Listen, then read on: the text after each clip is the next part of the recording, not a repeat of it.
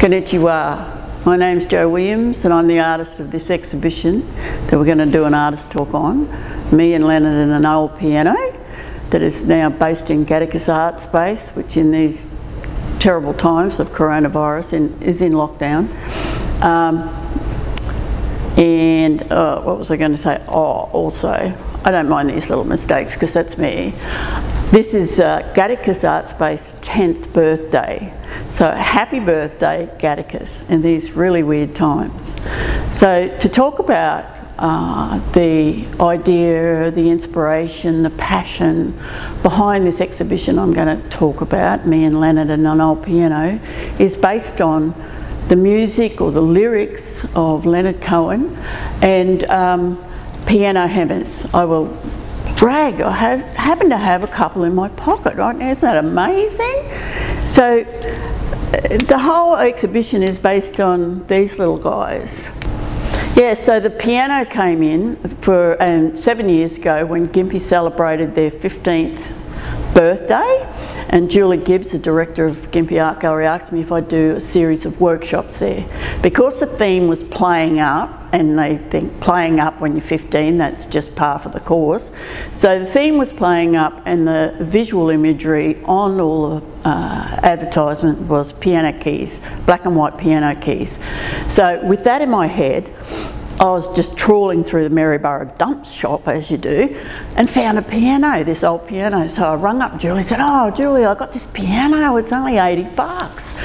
Right, get it, get it, get it, and we'll have it for the uh, workshop, see? For those that don't know, uh, this is um, in Maryborough and that was in Gympie, so it's an hour away. So the piano cost 80 bucks, but getting it to Gympie cost about 3,000. So the logistics of that was just out of the question. So I ended up with this old piano that was sort of rotting in the front yard for a while. Julie got another piano.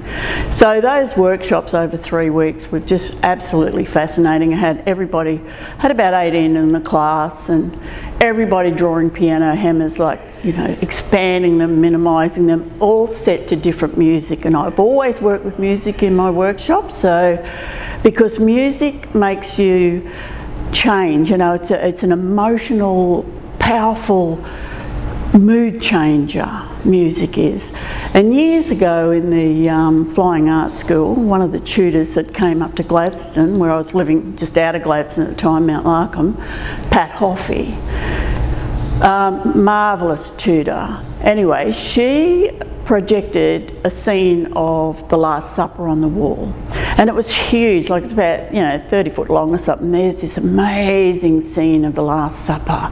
And it was so ethereal, so, so sacred with all this beautiful music behind it, like um, the, the Gregorian chants. I really can't remember the music, but it was so spiritual. And you see these beings, these earthly beings. But suddenly the music changed and uh, Mario Lanza's Drink, Drink, Drink come on and suddenly all these characters that, you know, nanosecond before were these ethereal beings were just drunken, this drunken mob, absolutely shit-faced. And it absolutely amazed me, the power of music.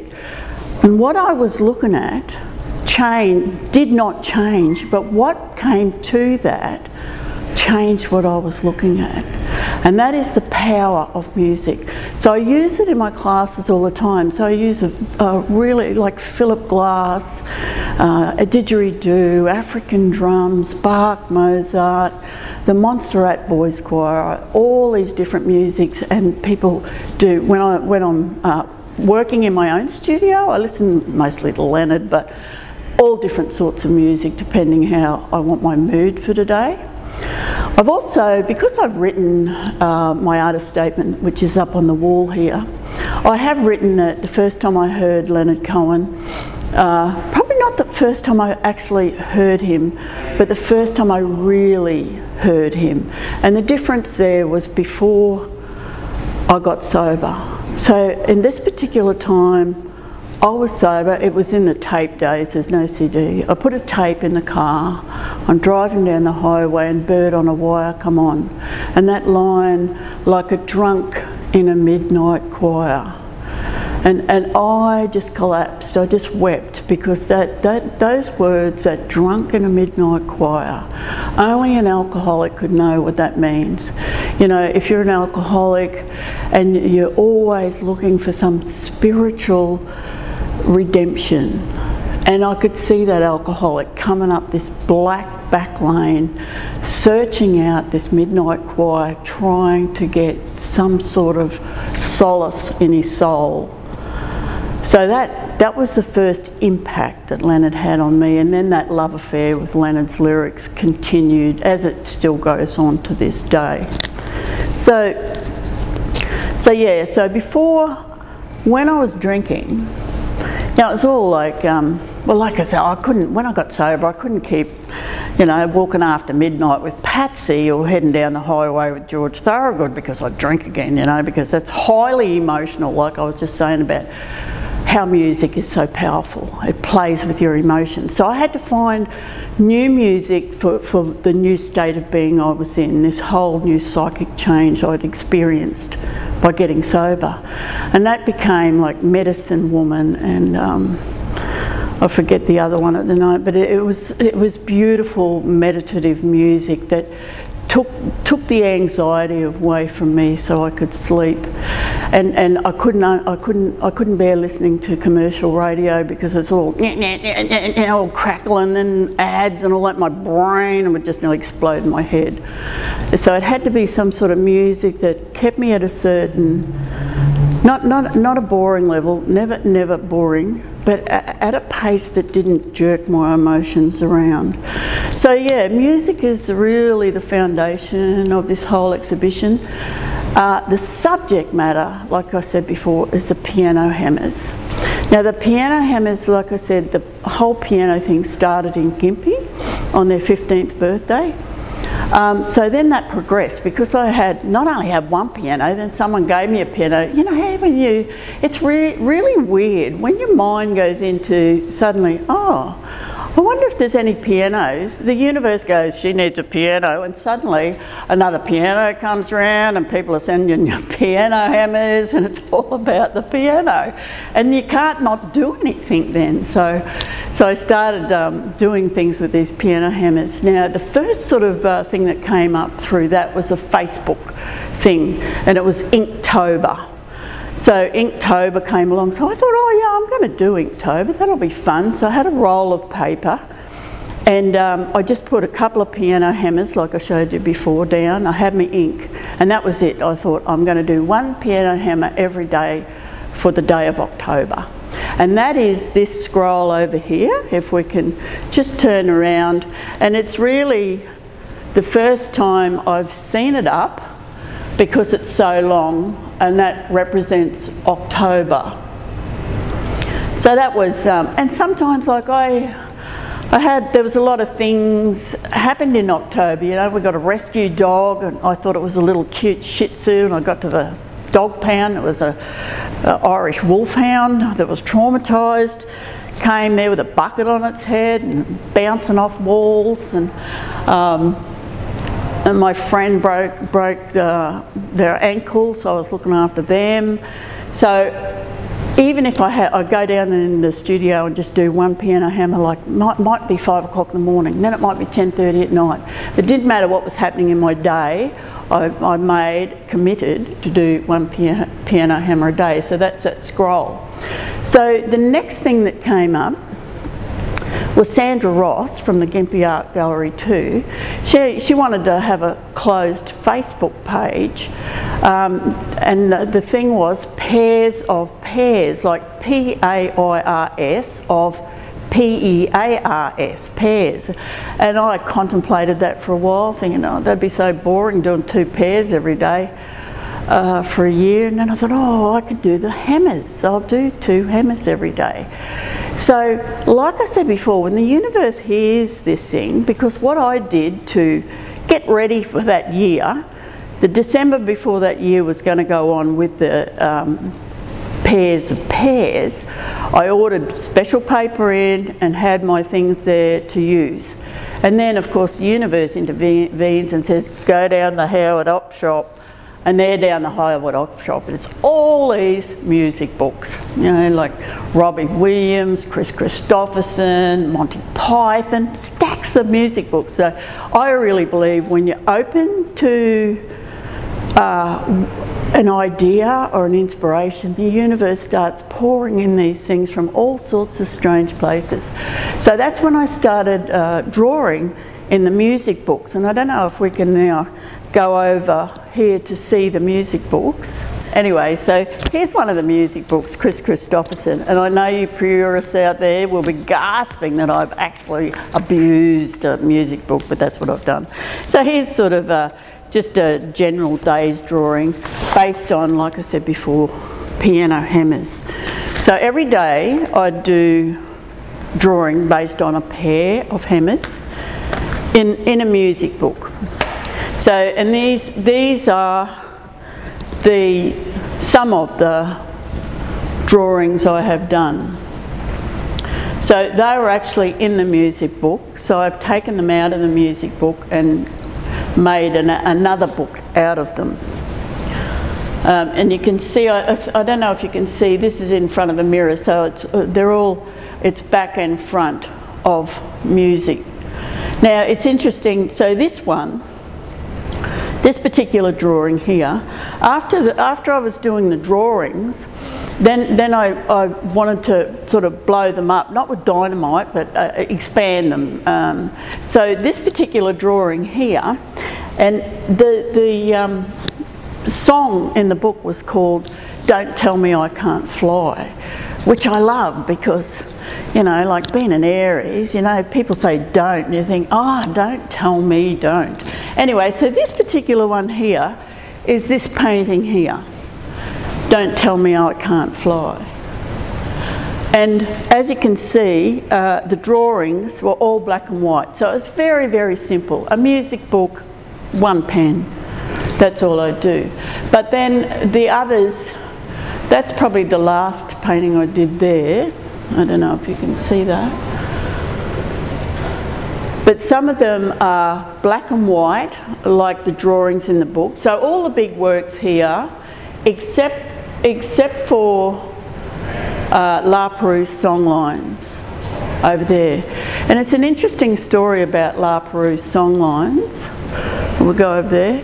Now, um, you know, you hear the stories about how people or artists or anyone when they're young, they see something that they go, oh my God, this is, this is going to be my life. Well, it was during, I, I started on this work before the other big works.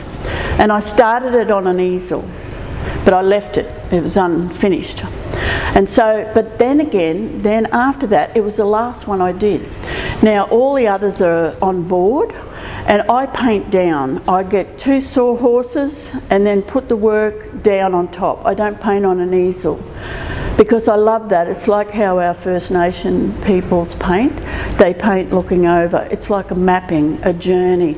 You become part of it. You don't, you don't know where the end destination is. You are over it and you are experiencing that whole journey as you paint it. You're so close to it. If it's on an easel, you're, I, this is my experience. You're separated from it. You're looking, you're coming back and you're looking at it and, and it's sort of like looking out of a window, I feel, on a telly or something, but when you're over it. But like I said with this one, it started on an easel. It, it was the last one I did, and it, I finished it looking over it. While I was painting it, looking over it, I had this amazing experience of this um, sort of like a, well, it was a 60 year a combination of memories exploding in my brain as I'm doing this, and it's why I called it La Perouse song, song Songlines. When I was about nine, I don't know, there's no records, but my father had left, my mother had left my alcoholic, violent father in Mary Kathleen near Mount Isa in Queensland and escaped and went to Sydney with her three kids, of which I'm the middle one. Now, I was about nine, we ended up in a Salvation Army home in La Perouse. on a Sunday, eh, you can imagine that was a very traumatic time. I only have about six visuals of that whole year spent in Sydney. One of the most amazing ones was on a, on a Sunday we were allowed to go over the hill to go to this oceanside beach. But on the way there was a path and it was all um, side by side, the Aboriginals were on the side selling all their artware. And I know I had an experience there. I had a some sort of soul connection that I really don't have words for that um, has been with me forever. And I sort of re relate it to like Brett Whiteley finding that book of Van Gogh on the church pew when he was in boarding school and knowing, looking at that, that, that, there was some connection there for his creativity. And the same with this La Perouse. And that's why I call this La Perouse Songlines because of the experience I had when I was um, painting it. With the uh, drawings I did in uh, the music books, as you can see I made my own book, you know, the previous uh, um, vision over there of the I made a book out of them. But also what I've done is I got the drawings and I got prints made at the fabulous Wolfpack print in Hervey Bay, Craig and Naomi, if you need to go there. What is fabulous about that is it's not an online, you know, people are online ordering stuff from um, all their different uh, things to get cheap cards and that made, but there's no human contact. With Craig and Naomi at um, Wolfpack Print, you can go in there and say, look, I say, I'll go in there and I'm like, I want these drawings. Can you put these drawings in a concertina print for me? And they go, oh, we've never done that, but we'll try. So I can't, can't do that online. You can't have that sort of contact. So these are the prints now from from the um, drawings. So I've still got the original drawings and these are prints. So it's like the gift that keeps on giving, isn't it? This is a little, um, I do also do uh, assemblage. And this is called Bird on a Wire. I don't have to explain that, do I? You can see the bird. And that's a piano hammer wire um, for that song that I was telling you about that first had that major impact on me. Um, and a, this is another um, assemblage called the Holy Notes. I just love the words of Leonard Cohen and, and all those things. Um, can we um, go up here? The, um, the drawings in the book, like I said, became books and then became prints and then they became little paintings. So these little paintings up here are based on the drawings in the book. And sometimes when, when I was drawing in the book, like it would be the, the music that I, the, the page of the music I was looking at that would sort of inform what I drew, like um, the uh, busted flat in Baton Rouge, you know, with me and Bobby McGee. You know, I had a big red scarf around the hammer. And, and this one here, it's called Let Me Be a Witness. Now that was that's like a, a, visual diary sort of thing. They the hammers became little characters, you know, like little Daleks and something. So that's Anne Brown and I when we went to GOMA to see uh, gee, I never, Yamamoto, yeah, is that her, how you pronounce her name? That fabulous exhibition of that beautiful Japanese artist. So that's Anne Brown and I standing in front of her artwork. So it, it becomes quite um, really, really personal um, because it's uh, based on the day. Um, another one over there uh, that we've passed before, it's these two little hammers and they're sort of on their backs with all these wavy, wavy lines and, and I took the, most of them are named after Leonard Cohen's lyrics and this one's called Everybody's Wounded and it's from that line in that Leonard song saying, you know, it's Father's Day and everybody's wounded. It's so powerful. But I was in up at Boyne Island. Um, my, a really um, close friend of mine had lost a son to a drug overdose, and on the day I was up there for a week with her, and on the day we'd been in to identify his body, um, we come back where she lived, and we had to get in the water. It's sort of like you do have to have that sort of that baptism, that cleansing of water, and because she'd had a stroke a few years before and she couldn't be left unattended, we're both in the water with all this feeling from what uh, you know was transpiring with it, and that's why I've called that everybody's wounded in their own way. You know, so some are really, really deeply personal. Some are really deeply sort of. I, I, I just love this one. Um, to me, it's it's really dense. It's called Strike a Chord, bit of Madonna thrown in there, Strike a Chord.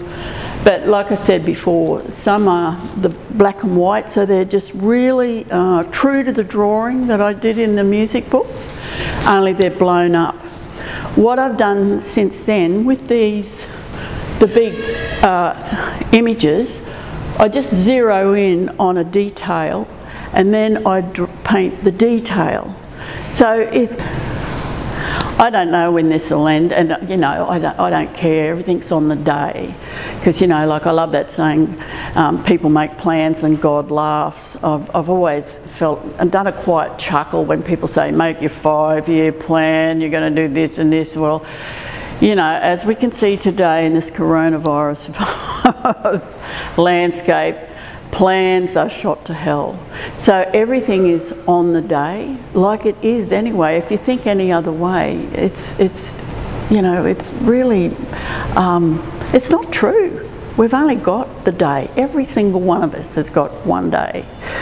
But all the different themes I, I love, and I usually I start with a theme, an idea, an inspiration. They continue to have impact on my art practice. So this will continue to have. I will continue work based on me and Leonard and Noel piano. Same as I still uh, do works based on my Safe House series, based on my um, what was the other series? Um, oh, geez, I can't even remember now. One was it? Anyway, the other one.